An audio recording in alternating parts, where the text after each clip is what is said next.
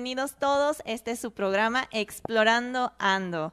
Yo soy Estefanía Franco, la fresita del barrio, y el día de hoy vamos a continuar con un descubrimiento que yo tuve. Eh, el programa pasado hablamos de una película que a mí me gustó mucho. Es una película que está basada en el libro de Federico García Lorca, La novia. Eh, y bueno, mi descubrimiento fue que la directora que hizo esta película, pues eh, su segunda película fue La novia, pero me puse a indagar ahí en, las plataformas este, de películas y encontré la primera película que dirigió Paula Ortiz y se llama De tu ventana a la mía. Nos acompaña Regina Domínguez. Eh, sí, fue su primer largometraje. Esta película la dirigió en 2011 y la verdad es que es una película muy artística. Eh, ella como, como pues profesional estudió filantropía. La verdad es que a mí me sorprendió que es el estudio de las lenguas. ¿Viste la película, Rex? ¿Qué te pareció de tu ventana a la mía? Sí, después de, de ver la película de la novia, que como ya dijimos fue su, su segunda película dirigida, creí que tenía una idea de qué esperar, porque justamente apreciamos mucho tanto el desde el libreto, los diálogos, que son excepcionales, como el manejo de paisaje. ¿Encontraste algunas locaciones que te llamaran la atención dentro de la novia? Sí, y, y de hecho me parecen similares. La, este paisaje desértico en La novia, casi toda la película de La novia se desarrolla en este paisaje. Y por el contrario, en De tu ventana a la mía, solo tenemos una, son tres historias entrelazadas de tres mujeres y tenemos una mujer que se desarrolla en este mismo eh, paisaje desértico como... Que es la historia de Inés. Es, es una mujer, eh, eh, bueno, la película es sumamente simbólica, cabe mencionar que tiene elementos desde el inicio, dice, hay amores que son como la amapola, ¿no? y la amapola ahí te, te va dando las características de la flor, eh, es una flor delicada que, no, que a ciertas altitudes no florea, que puede usarse para, para adormecer, para calmar, eh, empieza a, dar unas tomas muy bonitas desde el inicio. Eh, la toma en una bañera me parece muy artística. una, una mujer enfocada en el centro en una bañera, una bañera sumamente bonita, tiene pececitos adentro nadando y flores, y es similar al inicio de la película de la novia que también, vemos a una, mujer en el suelo y en ambas escenas la mujer está llena de, de una tela, como que no alcanzas a ver su cara, si está feliz, porque está ahí, si lo está disfrutando, si está triste. Ya conforme va avanzando la película te das cuenta de qué hace en esa bañera. Igual en la novia que hace tirada en el suelo. Y eso es, es muy interesante y es característico de esta directora. Eh, estas tres historias de tres mujeres simbolizan eh, por un lado, la, cómo ha sido el avance histórico de, la, de, España, es, que trae muchas cosas históricas de España, el franquismo, eh, algunos abusos que se cometieron en contra de las mujeres, como es el, el sobajarlas, el hacerlas quincadas, les cortaban el cabello. Como un castigo, porque estas tres mujeres que vemos en la historia tienen diferentes edades y se desarrollan en diferentes épocas, todas en España, pero en diferentes épocas. Vemos a una mujer joven, a una mujer de mediana edad y a una mujer ya de avanzada edad. Y aparte, las tres son de diferentes clases sociales.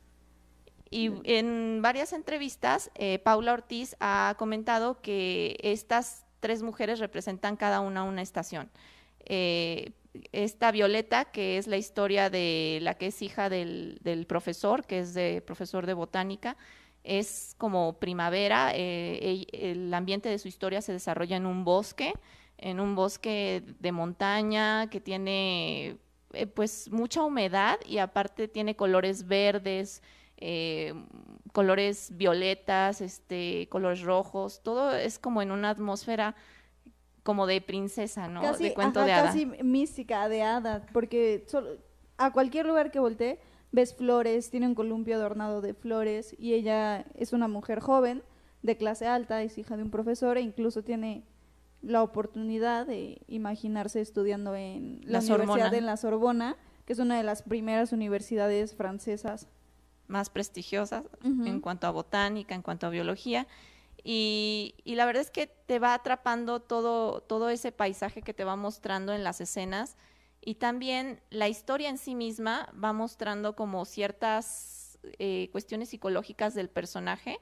Ahorita la que recuerdo es mucho es Violeta, eh, porque ella se columpia, casi todo el tiempo está en el columpio y eso pues da la, da la idea psicológica de que ella no aterriza, no, no, no, no tiene los pies muy plantados en el suelo y, la sobreprotección de, de su abuelo pues también es es como bastante marcada, siempre le dice, tómate la medicina, en ningún momento de la película como que nos dice qué enfermedad tiene. O, qué es la medicina, solo vemos un frasco violeta, pero sabemos que al, al, parecer la madre de Violeta estaba enferma, tampoco nos dicen de qué está enferma, pero incluso la escena de Violeta, su historia, inicia con, yo estoy bien. Yo no soy mi madre. Ajá, yo no estoy enferma, pero la historia da un giro que te hace pensar que quizás sí está enferma. O, eh, quizá no. ¿tú, ¿tú, piensas que, bueno, yo, yo sí lo vi muy real, la escena de choque dentro de la historia de Violeta, eh, ella se enamora cuando, cuando reciben a, a un estudiante. A un refugiado. A un refugiado, precisamente lo quieren como reclutar para la guerra y, y se queda ahí en la frontera entre España y Francia.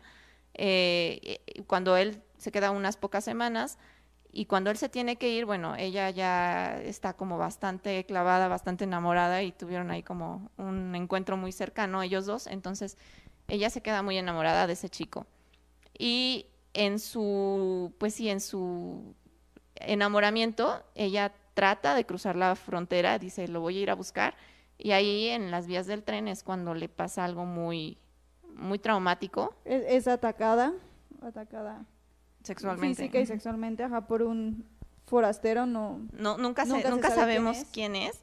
Eh, la verdad es que la escena es increíble, o sea, a pesar de que es una escena muy fuerte, es una escena bien llevada a cabo porque el juego de luces, las sombras y la expresión de ella realmente te, te traslada a lo que ella está sufriendo y cómo su mundo se le cae, ¿no? Y o sea, no, no es una escena que necesariamente tiene que ser grotesca o explícita o, vulgar. O sea, es una escena muy artística, porque sí, el manejo, eh, las sombras, las luces, el, túnel, todo es muy artístico, pero la sufres. O sea, la, la escena como, como ella grita, es horrible.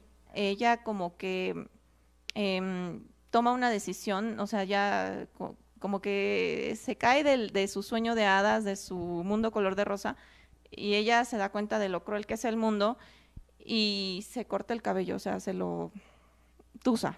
Sí, ella, tiene el cabello casi hasta la cadera, chino, muy... Hermoso. Sí, muy bonito, incluso se lo adorna con flores. O ella de verdad vive en, un mundo aparte. De hadas, ajá, se lo adorna con flores, que, que corta, tiene un estanque en su casa, es sumamente bonito todo lo que vive y entonces decide cortarse su cabello porque cuando inicia eh, el encuentro amoroso con este chico refugiado que tuvieron ahí tres semanas, inicia justamente por su cabello, porque él le, le dice que trae florecitas en el cabello y que no debe cortar las flores. Es porque ahí lo que hacen es cuidar flores. Entonces es como un simbolismo de, de cortarlo y, al mismo tiempo podemos ver cómo las historias de las otras dos mujeres. La de Violeta es en los años 20, 1920, por ahí. La de esta Inés es justamente al inicio del franquismo, en, en los 40, en 1940, justamente cuando está imponiéndose este nuevo régimen totalitario y pues empiezan a, a, encarcelar este, a todos los que estén en contra, le toca que encarcelen a Paco, su, su amor, su, su marido. Sí, porque Inés es una mujer, es esta mujer de mediana edad, de clase baja, que no, e, ella es la que vive en este paisaje desértico, desolado. Con lo más esencial para la vida, ¿no? Ajá, lo, lo mínimo eh, Paco, su esposo, ni siquiera como que se quiere casar con ella. O sea, sí se quieren, pero como que él no, no se quiere dice, Pues ya estamos juntados, ¿no? Ya, eres mía, ya. Sí, ella dice, no, sí me quiero casar. Entonces se casan a escondidas, igual por este, por este régimen. Encarcelan a su esposo. y ella decide ir a verlo e incluso lo que él hace cuando la ve es agarrar su cabello. E- ella siempre lo trae trenzado y él toma su trenza como si fuera lo que le atrae de, él. totalmente Ajá. de ella. Ajá. Y cuando vemos que... que justamente se, se la llevan porque están buscando a, a otro muchacho que es su amigo, que es el que le está ayudando a sembrar, eh, a recoger, recolectar el trigo y todo eso. Eh, se la llevan los guardias, este, pues sí, del régimen de Francisco Franco y la arrodilla, o sea, la, la hacen que esté arrodillada y arrodillada le agarran la trenza junto con otras mujeres y se la cortan. O sea, era como una señal, una tor- un tipo de tortura para marcarlas y que a esas mujeres pues no, no se les acercara a nadie. Yo, yo vi esta escena muy relacionada con una película que tú me recomendaste que ya tuve la oportunidad de ver que se llama El pan de la guerra. No manches, qué película tan fuerte y qué película tan bien lograda. Esta película, la segunda película de la cual vamos a hablar, se llama El pan de la guerra, también está basada en un libro eh, que es eh, de Débora Ellis y este del mismo nombre. Es, es una película que te deja una idea de los abusos que se cometen en algunos países como Afganistán en contra de las mujeres brutales. Sí, Parvana es una película justamente en Afganistán, pero lo interesante de esta película es que son dibujos animados. Son dibujos animados muy básicos, muy... Sí, animación casi plana. Y de todos modos te, te llega y, y es muy fuerte, es incluso difícil de digerir, pero no tiene escenas grotescas, no es violenta. Hay justamente una escena que me recordó mucho tanto la historia de tu ventana a la, a la mía, eh, la historia de Inés, que es esta chica que se enamora de Paco, se casa, pero se llevan a su marido encarcelado y la historia de, De del pan de la, de la guerra. Justamente cuando Parvana eh, ya se está, ya se, su mamá, su hermana, eh, su hermanito y ella se están quedando sin, sin, en- sin alimentos. Porque se llevaron a su papá injustamente encarcelado solo por poseer un libro. Sí, o sea, vaya crimen, ¿no? Eh, se lo llevan, entonces ellas, pues como tres mujeres solas, eh, tienen que estar siempre tapadas y siempre en compañía de un hombre, pero pues ya no hay hombres en su casa. Ella sale al mercado y así casi suplicando les pide a los, a los vendedores, a los del mercado que le vendan algo de comida y todos se niegan. Todos se niegan y eso me recordó mucho la escena de tu ventana a la mía, cuando justamente Inés va a vender sus, los huevos de, de su gallina y lleva su turbante para no verse tan pelona, tan mal. Y desde que va pasando, todas las mujeres, lo- todos los vendedores, todos los comerciantes que la van viendo, como que la van eh, marcando, la van estigmatizando, porque seguramente pues su marido está en la cárcel Sí, Y ese es la, como un la símbolo de- rechazan totalmente. de rechazo y nadie le quiere comprar los huevos, ¿no? Entonces ella se re- regresa totalmente devastada porque pues eso era lo que tenía para sobrevivir. Sí, no, la verdad es que tiene escenas muy fuertes que nos recuerdan precisamente esa, ese, esa lucha constante que han tenido algunas mujeres. Eh, la directora Paula Ortiz precisamente expresaba que cada una de las mujeres tiene como su lucha interna y Inés es como la más, la lucha más fuerte porque es la mujer que sobrevive en la nada, la mujer que eh, por amor eh, encuentra un motivo de vida en la maternidad y sigue adelante. O sea, a pesar de todo, siempre su incansable energía, su incansable amor por, por la vida, por dar vida, es admirable. Y, y precisamente esto fue como un- esta película fue como un homenaje precisamente a todos los sufrimientos de las mujeres que han sufrido durante muchas épocas. Podríamos decir que es un trabajo muy, muy feminista, ¿no? Sí, y, mu- y muy bien logrado. Este símbolo de, del cabello largo es muy característico, tanto Las históricamente. historias se relacionan con ciertos objetos. Eh, la, como decíamos, la de Violeta, la historia de Violeta se relaciona con la amapola roja, es la más joven. Eh, esta Inés, que es la madre, es- representa la maternidad, la fertilidad y la lucha en un ambiente totalmente extremo y inhóspito. Es el cordón rojo, justamente cuando... Y, y fíjate que al inicio de esta película de tu ventana a la mía, las tres mujeres se pinchan el dedo. Es ahí como un simbolismo como de la bella durmiente, cuando toca la rueca y se pincha el dedo. Las tres mujeres al inicio de la película se, se, se pinchan el dedo. De hecho, eh, Inés está tejiendo con un cordón blanco y cuando se lo pincha se empieza a poner rojo y ya de ahí cambiamos a, a Luisa que el simbolismo es unas tarjetitas. Ajá, sí, las tarjetitas que avienta precisamente el, en los años 70, pues el, Partido Liberal, y a ella le toca justamente una que dice salud y libertad. Y le toca justamente saliendo del doctor, que le acaban de dar un diagnóstico de cáncer de mama. Es también una lucha impresionante para las mujeres esta enfermedad. Entonces ella se acaba de enterar de que tiene cáncer de mama, va saliendo del hospital y le caen muchísimas tarjetas rojas que dicen... Pero solo toma una. Salud y libertad. Sí, fíjate que es muy reconocible en esta película eh, el buen trabajo en equipo. Siempre lo hemos mencionado en este programa, eh, una película es hacer arte en equipo. Eh, hay tanto los de arte como el fotógrafo, que es Miguel, Miguel Moeno, eh, Miguel Ángel Moeno, que fue el mismo fotógrafo que hizo la película de La novia. Y bueno, ahí podemos admirar su trabajo porque la verdad es que los paisajes y los encuadres que tiene de, tomas generales son eh, excepcionales. O sea, parte del encanto de esa película es precisamente los paisajes y la fotografía. Eh, el sonido, la musicalización también es como muy de cantos gregorianos en esta película de Tu ventana la mía me gustó mucho una frase que dice precisamente la directora de, de, esta película, es Paula Ortiz, dice, el cine es un arte colectivo en esencia. Si cada uno de los participantes en el equipo no hubiera hecho lo que le tocaba, no se hubiera logrado el resultado visible a escena. Esta película es admirable sobre todo porque tuvo un muy bajo presupuesto. Al ser su primera película, pues seguramente no, no tuvo muchos apoyos y sin embargo es una excelente eh, realización escénica, una realización cinematográfica maravillosa y, y dice, se hace la unión para defender y sacar adelante la película, contar con una forma, contar de una forma bella la narrativa de la historia con lo que se tiene al alcance. O sea, me queda muy claro que ella trabajó muy duro y trabajó con mucha pasión en este proyecto para poder plasmarlo a escena y concretar tanto con actores, con, con camarógrafos, con vestuaristas, todo el proyecto.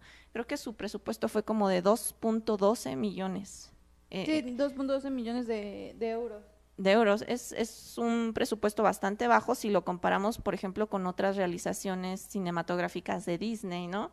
Eh, yo le decía fuera del aire a Regina, eh, estas dos historias, tanto la de Parvana como la de, de Tu ventana a la, a la, mía, me recuerdan mucho por el corte de cabello a la película animada de Mulan.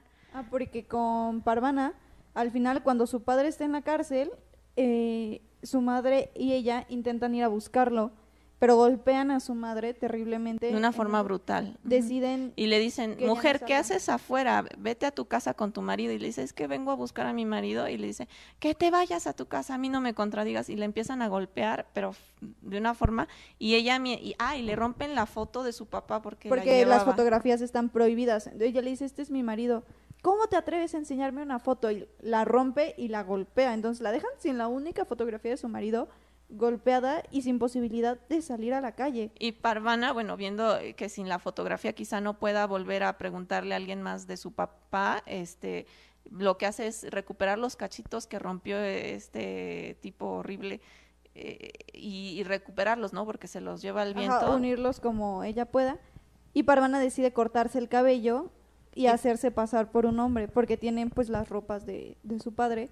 Y de un hermano que perdió. de un hermano que falleció, un hermano mayor. Entonces lo... Pues se hace pasar por hombre y descubre que no es la única. Hace una amiga que también, que ella al principio piensa pues que es un niño y se da cuenta de que estudiaron juntas y es una niña, pero igual está en una situación que está sola, necesita trabajar y se hacen pasar por hombres. Sí, estas dos películas me recordaron mucho la historia que yo conocía animada de Mulan, pero la verdad es que empecé a ver la película de Mulan y un tremendo, una tremenda decepción. El live action. Sí, el live action la verdad es que nada recomendable. Aquí generalmente damos recomendaciones de películas que valen mucho la pena. Y, curiosamente, el presupuesto para hacer el live action de Mulan eh, fue de 200 millones. Dices, no, pues, o sea, nada que ver. Eh, y también, curiosamente, fue una directora mujer la que la, que la dirigió la película de Mulan. Fue dirigida por Nikki Caro. Entonces, este, pues hay... No, y la verdad es que no la recomendamos. No, no está ni para pasar el rato. No, creo que la escena más divertida es cuando se va en el tejado correteando a la gallina, pero fuera de eso, la verdad. Y es la primera escena. Y es la primera escena. No, no vale la pena pasar de esa escena. Yo, yo recuerdo que la terminé de ver porque, porque ese día, o sea, yo, la, yo descargué esa película porque sabía que íbamos a salir y dije, bueno, pues es lo único que tengo para ver. Quizá no termina tan mal sí termina mal. Ah, ok. Es, una historia echada a perder, ¿no? No, no, no. A mí la película animada se me hace hermosa. Súper bonita. O sea, animada, infantil, pero es muy bonita, es muy divertida. Es, me encanta y, y esperaba muchísimo, y creo que muchos esperábamos, de live action, no. No es recomendable, pero bueno, estas dos historias nos recuerdan precisamente cuando Mulan en la primera película animada se corta el cabello. Y se hace pasar. Y se hace pasar por un hombre. Y hacer trabajos forzados como hombre, ¿no? Que es más difícil porque una como mujer pues no, cuenta con esa fuerza física. Y sin embargo también podemos ver que en la película de El pan de la guerra, eh, igual ambas amigas se meten a una fábrica de ladrillos a realizar trabajos de hombre. Y... Sí, que, o sea, en este contexto, aparte de lo biológico, porque pues lo biológico es innegable, ellas toda su vida anterior, antes de comenzar a aparentar ser hombres, pues estaban encerradas. ¿Qué preparación física vas a tener para de un momento a otro pasarte a hacer trabajos forzados que de por sí son pues ya bastante pesados para, hombres, los hombres, ahora para unas niñas de 11, 12 años.